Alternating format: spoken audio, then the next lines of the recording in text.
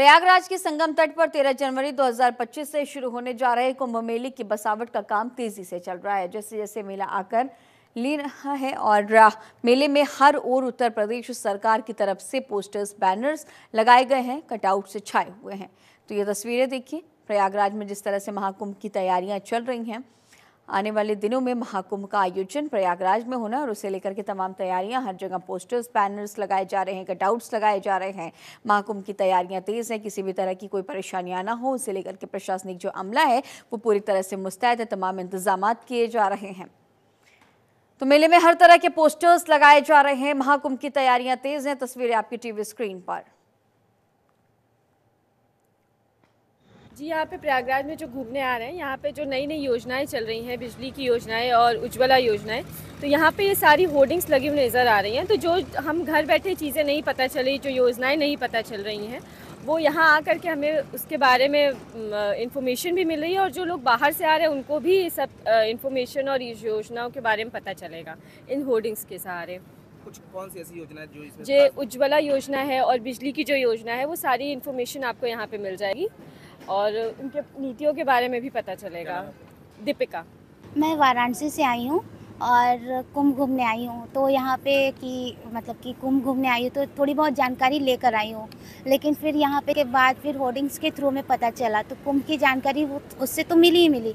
लेकिन जो यहाँ पे सबसे अच्छी खास बात ये है कि होर्डिंग्स के थ्रू हमें सरकार की योजनाओं के बारे में पता चल रहा है। जैसे कि आपका मुफ़्त राशन आपका हर घर एयरपोर्ट का ये सारी जो भी योजनाएँ हैं सरकार की उन सभी योजनाओं के बारे में हमें जानने को मिल रहा है। कि हम आगे भी उन योजनाओं का फ़ायदा ले सके उसका ले सके तो इस वजह से हमें काफ़ी सहायता मिल रही है। ये आ, मेला एक सबसे बड़ा समागम है जैसा कि आप जानते हैं। न केवल प्रदेश से ही अपितु देश बल्कि विदेश से करोड़ों की संख्या में यहाँ श्रद्धालु पधारते हैं। और हमारे जो भी सूचना विभाग है, वो कुंभ मेले के प्रचार प्रसार में लगा हुआ है।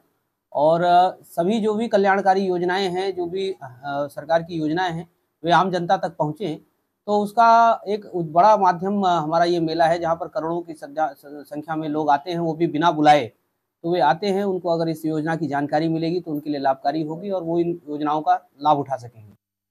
दुनिया के सबसे बड़े धार्मिक, आध्यात्मिक मेले की शुरुआत तेरह जनवरी से होगी, लेकिन इसको लेकर के प्रदेश सरकार व मेला प्राधिकरण ने भरपूर तैयारी कर रखी है और इसको लोगों को रूबरू कराने के लिए तमाम जानकारी वाले पोस्टर बड़ी बड़ी होर्डिंग्स लगाई गई हैं। लेकिन इन बड़ी होर्डिंगों के बीच में एक खास बात यह देखने को मिल रही है कि सरकार की तमाम कल्याणकारी योजनाओं को भी दर्शाया गया है, जो सरकार द्वारा चलाई जा रही है, चाहे वो केंद्र सरकार की योजना हो, चाहे वो राज्य सरकार की योजना हो ये तमाम ऐसे पोस्टर जो है, वो देखने को मिल रहे हैं। जहाँ पर ये पोस्टर लगे गए हैं, कहीं पर मुफ़्त राशन का पोस्टर लगा है तो कहीं पर जीवन हुआ आसान, मिटा अंधकार, ये तमाम तरह के स्लोगन वाले पोस्टर लगे हैं। और ये सरकार की वो योजनाएँ हैं, जो कल्याणकारी योजनाएँ हैं और तमाम लोगों से राहत पहुँचाने वाली योजनाएँ हैं, जिसको जुड़कर ये तमाम लोगों ने बताया कि ये जो पोस्टर लगे हैं, इससे हम, हमें उन योजनाओं के बारे में भी जानकारी मिल रही है। जिन योजनाओं को हम घर बैठे नहीं देख पाते थे तो कुंभ में आने वाले श्रद्धालुओं के लिए तमाम पोस्टर लगाए गए हैं,